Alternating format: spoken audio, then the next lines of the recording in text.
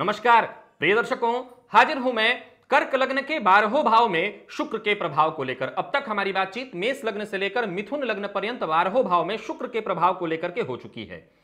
प्रिय दर्शकों, कर्क लग्न में शुक्र सुखेश और लाभेश होते हैं। लाभेश होने के कारण इन्हें सर्वथा कारक नहीं कहा गया, लेकिन आज के परिवेश में देखा जाए तो धन की आवश्यकता, भूमि, भवन, वाहन की आवश्यकता सभी को है। अतः कर्क लग्न के जातकों के लिए शुक्र का प्रभाव जानना अत्यंत आवश्यक है। एक एक करके शुक्र के प्रभाव को हम कर्क लग्न के बारहों भाव में जानेंगे। कार्यक्रम प्रारंभ करूँ, उससे पूर्व एक प्रश्न ले लेता हूँ। यह प्रश्न संदीप सिंह जी का है। इन्होंने पूछा है कि वृश्चिक लग्न में सूर्य वृद्ध और चंद्रमा मृत हैं। अमावस्या का दोष है, मंगल दसवें घर में मृत हैं। मोती पहन रखा है इन्होंने। कौन सा रत्न पहनू, मूँगा या माणिक्य? संदीप जी, वृश्चिक लग्न में सूर्य वृद्ध होकर के बैठे हैं, लेकिन बात लग्न और लग्नेश की पहले होगी। वैसे तो इस लग्न में मंगल ही षष्ठेश भी होते हैं। अगर आप ऋण से ग्रसित न हो तो आप मूँगा धारण करिए, क्योंकि लग्नेश अगर मृत हो तो जीवन काल में कितने भी राजयोग जन्म कुंडली में हो, उसका श्रेष्ठ लाभ नहीं लिया जा सकता। वैसे तो मंगल कुंडली के दसम भाव में दिग्बली हैं, अति विशिष्ट कारक होकर के बैठे हैं, और लग्नेश होकर के लग्न को देख भी रहे हैं। मृत हैं, अतः उन्हीं का रत्न धारण करना ज़्यादा श्रेयस्कर होगा। सूर्य वृद्ध अवस्था में है, सूर्य को नित्य अर्घ्य अर्पित करिए, आदित्य हृदय स्त्रोत्र का पाठ करिए, उससे सूर्य में बल आ जाएगा। लेकिन मंगल के लिए मूँगा धारण कर लेना ज़्यादा श्रेष्ठ होगा। कर्क लग्न, कैसा होता है यह लग्न? तो कोमलता प्रधान, भावुकता प्रधान, कल्पना प्रधान, स्त्रियोचित गुणों से सुसज्जित यह लग्न। जातक आलसी, लेकिन कई बार अपने ही काम के लिए केवल। अब लग्न में आकर के बैठ जाए शुक्र, जो कि चंद्रमा के नैसर्गिक मित्र नहीं है। तो इसमें कोई संशय नहीं कि कल्पनाशील, भावुकता प्रधान, एक अत्यंत श्रेष्ठ लग्न कर्क और लग्न में ही, यानी जातक के व्यक्तित्व में, वो ग्रह आकर के बैठ जाए, जिसका आधिपत्य खूबसूरती पर है, जिसका आधिपत्य हर उस खूबसूरत चीज़ पर है, जो आँखों को भाती हो, जो मन को मोह लेती हो। और लग्न में आकर के अगर यहाँ बैठ जाते हैं शुक्र तो धन भाव, लाभ भाव और भूमि भवन वाहन सुख का मालिक अगर आकर के लग्न में बैठ जाए तो सबसे पहले तो यह जान लीजिए कि आपका लग्न आपका व्यक्तित्व है। और व्यक्तित्व में भूमि भवन वाहन सुख का मालिक, लाभ भाव का मालिक आकर के बैठ जाए तो जातक सबसे पहले तो सुखों के तरफ़ आकर्षित रहेगा आजीवन।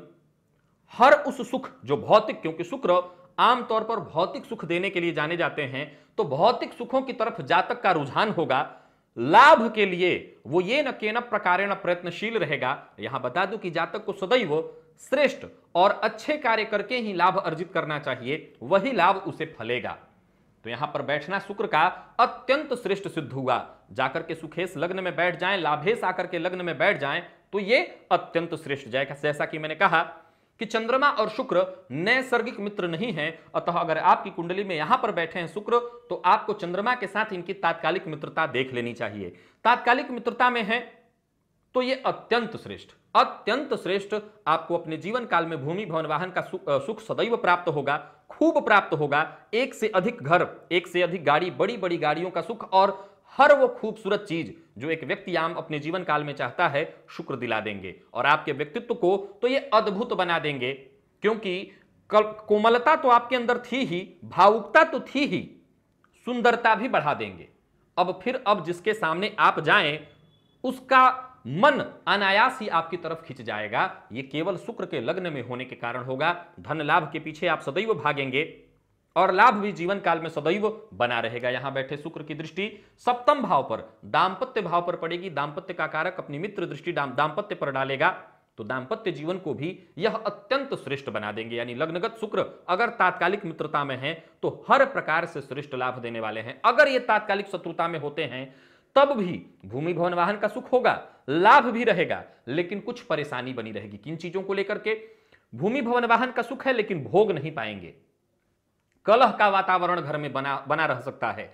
लाभ की स्थिति दिख तो रही है, लाभ आ भी रहा है, लेकिन हाथ में आते आते कई बार छूट जा रहा है, ऐसी स्थिति आएगी। दाम्पत्य जीवन तो रहेगा ठीक, लेकिन आप अपने में मस्त, पत्नी अपने में मस्त और फलस्वरूप निरस दाम्पत्य जीवन, बहुत सुखद दाम्पत्य जीवन नहीं कहा जा सकता। शुक्र का मृत होना, शुक्र का अस्त होना कतई ठीक नहीं है। अगर ये अस्त होते हैं तब भी, मृत होते हैं तब भी आपके लिए सर्वथा ये नुकसानदेह है।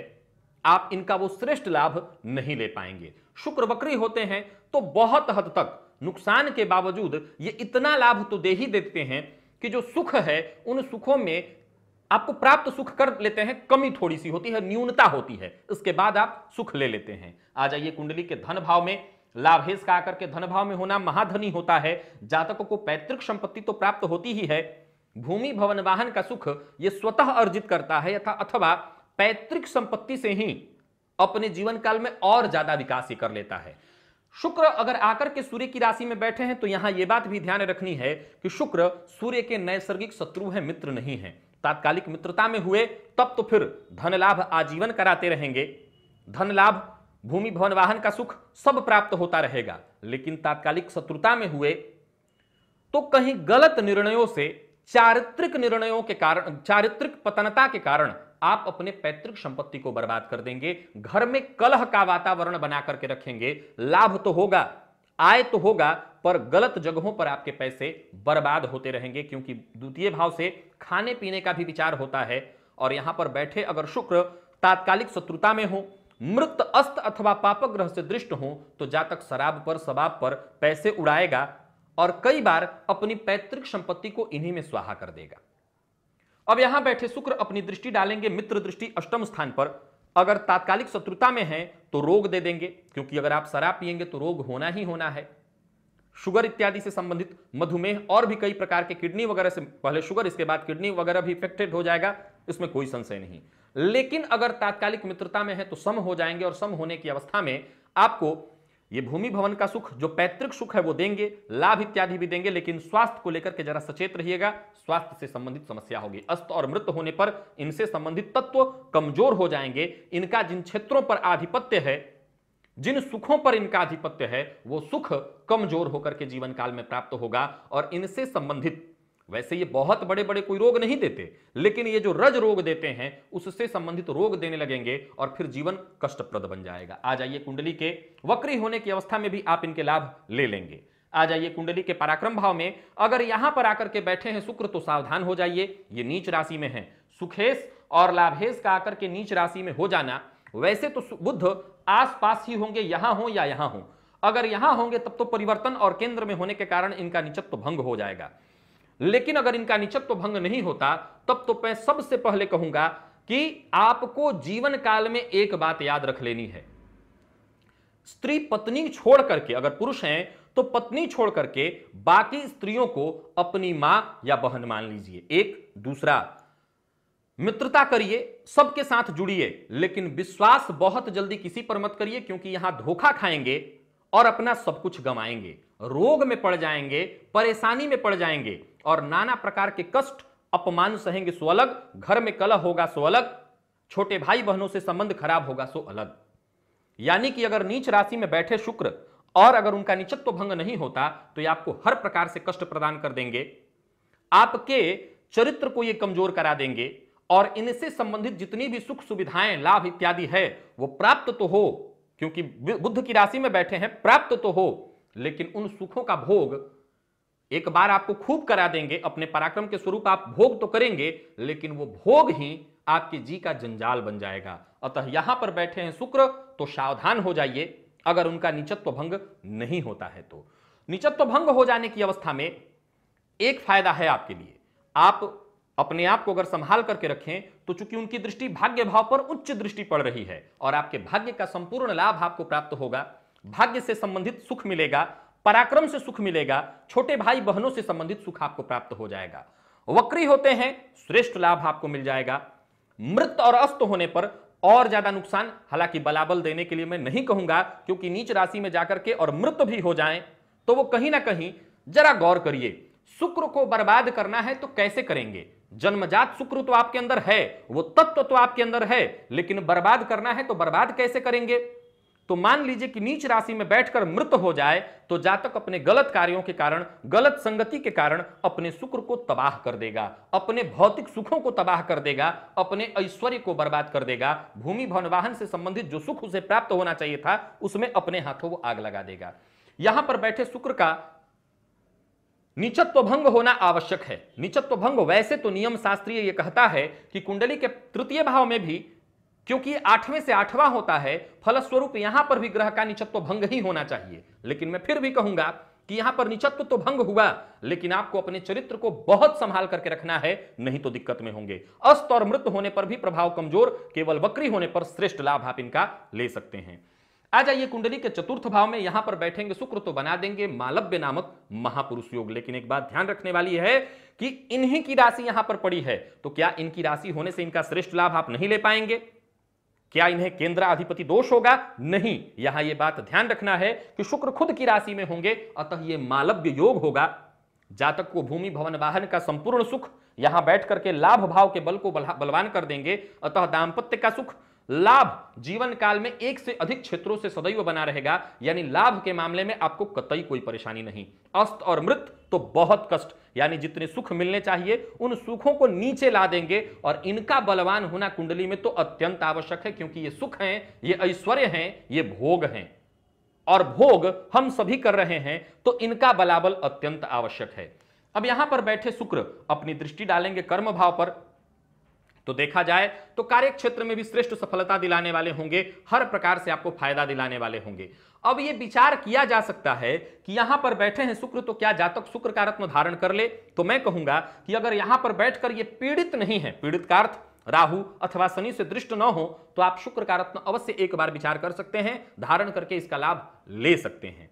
चूँकि यहाँ पर स्वराशि में बैठे हैं तो पहला तो मालव्य नामक महापुरुष योग बहुत श्रेष्ठ और दूसरा, यहाँ बैठ करके ये भूमि, भवन, वाहन, माँ का सुख, हर सुख आपको प्रदान कराएँगे, दाम्पत्य सुख इत्यादि, हर सुख आपको प्राप्त हो जाएगा। कर्म स्थान को देख करके भी लाभ देंगे। वक्री होते हैं तो फिर रिज़ल्ट बहुत कमज़ोर हो जाएगा, जितना श्रेष्ठ लाभ मिलना चाहिए, वो नहीं मिल पाएगा। आ जाइए कुंडली के पंचम स्थान में। यहाँ पर आकर के बैठ जाते हैं शुक्र, तब क्या करेंगे? तो पहले तो ये केंद्र त्रिकोण राजयोग होगा, लेकिन दूसरा कहूँगा कि मंगल के साथ तात्कालिक मित्रता देख लीजिए। अगर मंगल के साथ तात्कालिक मित्रता होती है तो उस अवस्था में आपको संतान सुख, संतान सिख, से सुख इत्यादि, ज्ञान का सुख सब प्राप्त हो जाएगा। यहाँ बैठे शुक्र अपनी ही राशि को लाभ भाव को देखेंगे। जातक जातक ज्ञान से जीवन काल में श्रेष्ठ धन लाभ अर्जित करेगा, यानी खूब लाभ अर्जित करेगा। यहाँ बैठे हो शुक्र तो जातक को ये ज्योतिषी बना देंगे, उच्च कोटि का गणितज्ञ बना देंगे। पुनः वो बात दोहरा देता हूँ कि यहाँ बैठे हो, यहाँ बैठे हो, यहाँ बैठे हो, यहाँ बैठे हो और यहाँ बैठे हो। इन जगहों पर बैठे शुक्र और यहाँ भी बैठ करके लगभग लगभग जातक को ज्योतिष में रुचि दिलवा देते हैं और वैसे भी कुंडली में कहीं भी बैठे हो, अगर शुक्र कुंडली में बलाबल के साथ तो जातक को तंत्र विद्या गुप्त विद्या रहस्यात्मक विद्या ज्योतिष विद्या इन सबों में गहरी रुचि होती है और ये विद्याएँ जातक को समझ में भी खूब आती हैं। तो जैसा कि मैंने कहा, यहाँ बैठे हैं शुक्र तो आप इनका लाभ ले लेंगे। तात्कालिक मित्रता में है तो खूब लाभ ले लेंगे। तात्कालिक शत्रुता में है तो थोड़ी परेशानी, लेकिन भूमि, भवन, वाहन का सुख, लाभ इत्यादि में कोई कमी नहीं होगी। वक्री होने पर प्रभाव में न्यूनता तो आए, लेकिन फिर भी आप इनके सुखों को संपूर्णतः ले सकते हैं। मृत और अस्त हो जाते हैं, तब क्या होगा? तो मृत और अस्त होने में कहीं ना कहीं शिकायत हो जाएगी, परेशानी होगी, विशेष रूप से संतान सुखों में कमी ला देंगे। ज्ञान से जो लाभ मिलना चाहिए, जितना आप बुद्धिमान हैं, उतना सुख नहीं ले पाएँगे। यानी मृत और अस्त होना शुक्र का तो बिल्कुल ही ठीक नहीं है। आ जाइए कुंडली के ष्ठम स्थान में, रोग रिपु ऋण भाव में। अब यहाँ पर सुखेश का और लाभेश का आकर के होना, लाभ भाव में ऋणेश आकर के बैठे हैं तो ऋण लेकर के काम करिए, खूब काम करिए, आपके लिए यह सूत्र दे देता हूँ कि पैसे हैं आपके पास। तो पैसों को बैंक में डाल दीजिए और बदले में जाकर के ऋण उठा लीजिए। ऋण लेना आपके लिए बुरा नहीं है। गुरु की राशि में बैठे हैं, अगर गुरु के साथ तात्कालिक मित्रता में आ जाते हैं तो मित्र होंगे। गुरु के साथ तात्कालिक मित्रता में होने की अवस्था में मित्र हो जाएँगे और उस अवस्था में मैं आपको सलाह दूँगा, ऋण लीजिए। ऋण लेना आपके लिए कभी बुराई वाला नहीं है। ऋण से आपको नुकसान कतई नहीं है। लेकिन अगर ऋण दिया तो सुख दिया और समझ लीजिए कि लाभ को स्वाहा किया। सो भूल करके भी ऋण दीजिए मत। ऋण ले सकते हैं आप। विशेष रूप से बैंक इत्यादि से ऋण लीजिए, आपके लिए फ़ायदेमंद होगा। यहाँ शुक्र बली होते हैं और यहाँ से वो चूँकि बारहवें भाव को देखते हैं, जहाँ अति विशिष्ट कारक होंगे, अतः जातक के लिए विदेश गमन, विदेश यात्रा इत्यादि कराना, ये सब कुछ कराते हैं, हर सुख देते हैं। लेकिन एक बात कहूँगा शुक्र को जब देख रहे हैं कुंडली में तो ये ज़रूर देखिए, ये राहु के संबंध में ना हो, मंग, शनि के संबंध में ना हो, मंगल और सूर्य के संबंध में ना हो, क्योंकि ये भोग है, भोग तो होगा, पक्का, चाहे किसी के साथ भी हो, भोग होगा, लेकिन भोग नहीं, उसका दुरुपयोग शुरू हो जाएगा और फलस्वरूप आप रोगी हो जाएँगे। अतः याद रखिएगा कि शुक्र, शुभ ग्रह जैसे गुरु से दृष्ट हो तो ज़्यादा बढ़िया है। गुरु से दृष्ट होना कहीं ज़्यादा बढ़िया है, बुद्ध के साथ में होना कहीं ज़्यादा बढ़िया है। इनके ऊपर शनि इत्यादि की दृष्टि तो बिल्कुल बिल्कुल ना हो, क्योंकि शनि की दृष्टि राज भंग कर देती है। यहाँ बैठे शुक्र की जो दृष्टि बारहवें भाव पर पड़ेगी तो मैंने कहा कि यह बहुत बढ़िया है। आप अपने भौतिक सुखों पर सदा खर्च करेंगे, आपकी चाह सदा लग्जरियस होगी। इस तरह इतने छोटे घर में है तो इतने बड़े के बिना लिए बिना आपको नींद नहीं आएगी। गाड़ी अगर छोटी है तो बड़ी गाड़ी के लिए सदैव प्रयत्नशील रहेंगे, और इसमें कोई बुराई नहीं है, क्योंकि शुक्र भोग है तो भोग तो कराएँगे ही। लेकिन ये दाम्पत्य के कारक हैं। अगर अति शत्रुता में आकर के बैठ जाएँ तो दाम्पत्य जीवन को कमज़ोर कर देंगे। दाम्पत्य सुखों में कमी हो जाएगी और यहाँ बैठे हों और कहीं से शुक्र, शनि की, राहु और शनि की दृष्टि पड़ जाए तो फिर समझ लीजिए कि दाम्पत्य जीवन में भी समस्या, संतान, सुख में भी कमी और कई तरह के भोगों में भी कमी उत्पन्न कर देंगे। मृत और अस्त होते हैं तो सीधी सी बात है, इनके से संबंधित सुखों में कमी, वक्री होते हैं, कोई दिक्कत नहीं, रिज़ल्ट आपको इनका श्रेष्ठ मिल जाएगा। आ जाइए कुंडली के सप्तम स्थान में यहाँ बैठे मित्र राशिस्त शुक्र, लग्न को देखेंगे और आपके व्यक्तित्व को अद्भुत बना देंगे। दाम्पत्य जीवन को ये कमज़ोर कर देंगे, अगर अकेले हैं। अगर यहाँ पर बैठकर वो अकेले हो जाते हैं तो दाम्पत्य को तहस नहस कर देते हैं, खराब कर देते हैं। लेकिन अगर अकेले नहीं है तो उस अवस्था में लग्न पर इनकी दृष्टि पहले तो आपके व्यक्तित्व को अद्भुत बनाएगी और यही बड़ी सबसे बड़ी समस्या है कि आपके व्यक्तित्व को अद्भुत बना देगी। फलस्वरूप पति हो या पत्नी, दोनों को आप, दोनों आपको लेकर के संशय में रहेंगे, शक में रहेंगे और दाम्पत्य जीवन का खराब होना तो स्वाभाविक है। यहाँ बैठे शुक्र, लग्न को तो फ़ायदा पहुंचाएँगे ही, दाम्पत्य जीवन को थोड़ा सा नुकसान करेंगे अकेले होने पर। व्यापार आदि के क्षेत्रों से संबंधित कोई दिक्कत नहीं, इनसे कोई नुकसान नहीं होने वाला है। भूमि, भवन, वाहन के सुखों में कोई कमी नहीं होने वाला है। यहाँ पर बैठकर के ये विशेष नुकसान दाम्पत्य को ही पहुंचाते हैं और किसी चीज़ को नहीं। वक्री होने की अवस्था में भी सुखों में न्यूनता आ जाती है। अस्त और मृत ये दोनों नहीं होने चाहिए। होते हैं तो रिज़ल्ट कमज़ोर हो जाएगा। अब आ जाइए कुंडली के अष्टम स्थान में। यहाँ पर बैठे हैं शुक्र तो क्या करेंगे?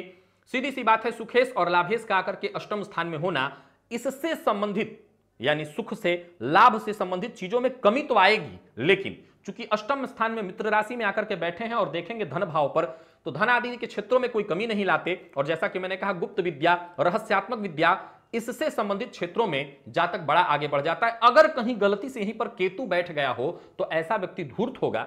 ऐसा व्यक्ति किसी को भी अपनी बातों में फांस लेने वाला होगा। ऐसे लोग ही तंत्र, मंत्र इत्यादि कार्य करके दूसरों को आडंबर दिखा करके उनसे पैसे ठग लेते हैं, क्योंकि केतु आडंबर करवाएगा और शुक्र इन सब क्षेत्रों से संबंधित ज्ञान थोड़ा सा जातक के पास हो जाएगा और लोगों को अपने व्यक्तित्व के प्रभाव में ले लेगा।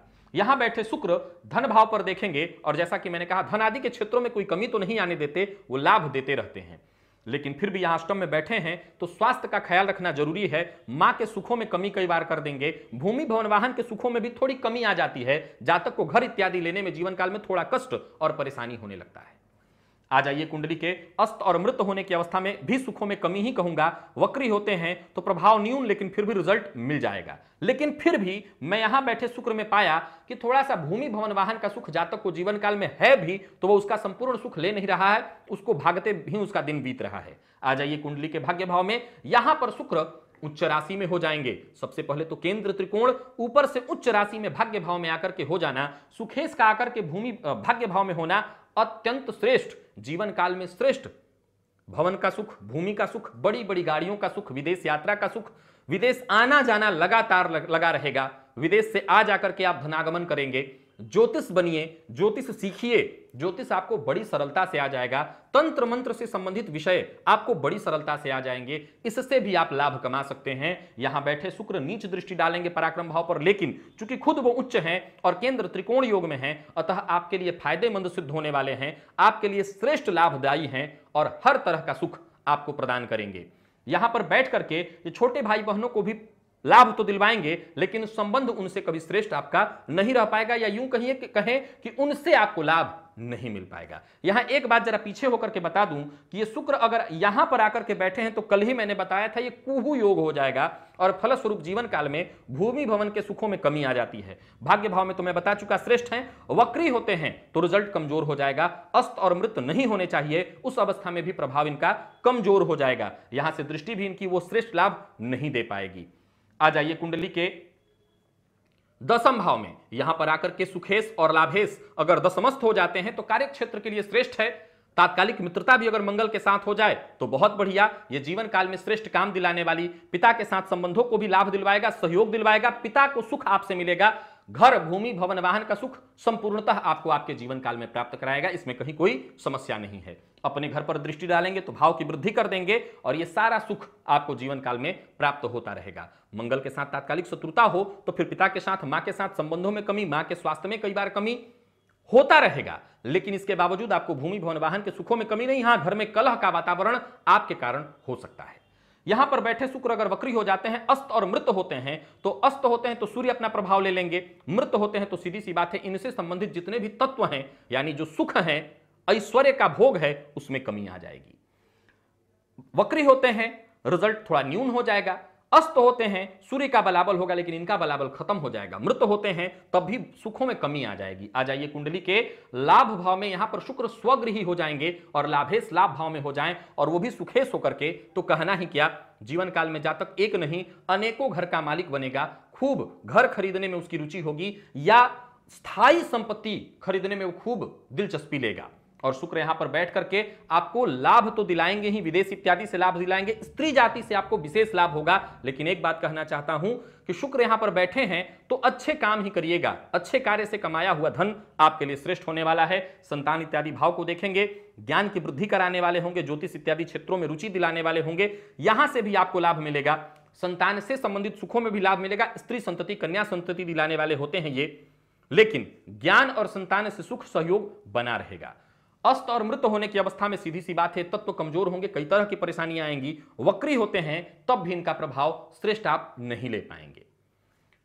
बारहवें भाव में आ जाइए, यहाँ पर शुक्र अत्यंत श्रेष्ठ और मित्र राशि में बैठे हैं तो आपको अत्यंत सौभाग्यशाली बना देंगे, यानी आप कर्क लगने के हैं और बारहवें भाव में बैठे हैं, शुक्र तो कहना ही क्या, ये अत्यंत श्रेष्ठ है, और यहाँ बैठे शुक्र की दृष्टि पड़ेगी सष्टम भाव पर, लेकिन कोई दिक्कत नहीं ऋण इत्यादि लेने से भी बचिएगा, देने से भी बचिएगा, क्योंकि आप ऋण लेंगे तो उस ऋण को लेकर के केवल सुखों पर लगाएँगे। तो सोच समझ करके अगर लें, चंद्रमा को देख लें, अगर आपका चंद्रमा बली है तो ऋण ले सकते हैं, क्योंकि तब आप उस अवस्था में अपने ऋण को सही जगह पर लगा सकते हैं। यहाँ पर बैठेंगे तो आपको हर चीज़ ब्रांडेड चाहिए। जो लेंगे आप, ब्रांडेड। फलस्वरूप पैसे टिकेंगे नहीं, आपके पास पैसे खूब खर्च होंगे आए नहीं कि जाने के लिए तैयार।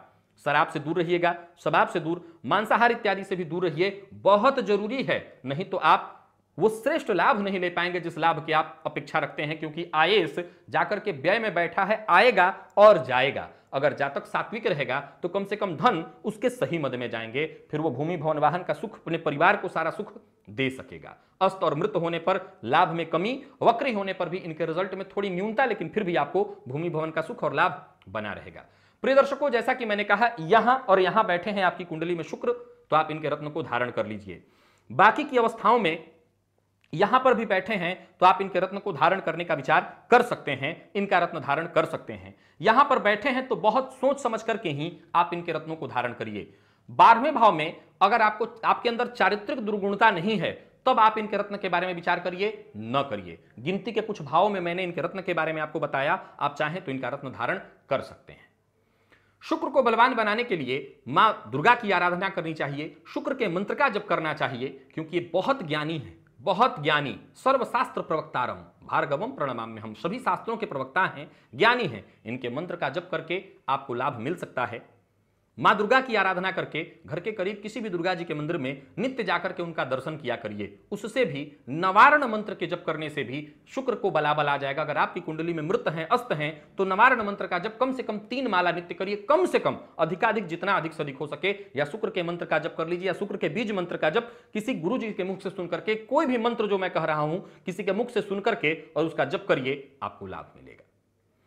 तो ये था कर्क लग्न के बारहों भाव में शुक्र का प्रभाव। कल हम जानेंगे सिंह लग्न के बारहों भाव में शुक्र के प्रभाव को। जाते जाते आप सबों से एक बड़ा सरल प्रश्न पूछ रहा हूँ। जन्म कुंडली में विमल योग का निर्माण कैसे होता है? जन्म कुंडली में विमल योग का निर्माण किस प्रकार से होता है? आज के लिए बस इतना ही। कल पुनः आप सबके सम्मुख हाजिर होऊँगा। तब तक के लिए इजाज़त दीजिए। नमस्कार।